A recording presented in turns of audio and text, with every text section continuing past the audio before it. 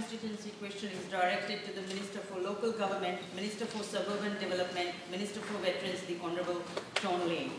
The Vic- expand playgrounds, community centers, and other infrastructure in Melbourne's fastest growing suburbs, delivering the facilities that locals need and supporting jobs and business through the coronavirus pandemic.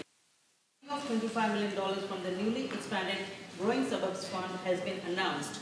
The investment will help deliver $90.3 million worth of new infrastructure with the investment expected to create more than 700 jobs, kickstarting our economy and supporting local tradespeople, businesses and suppliers.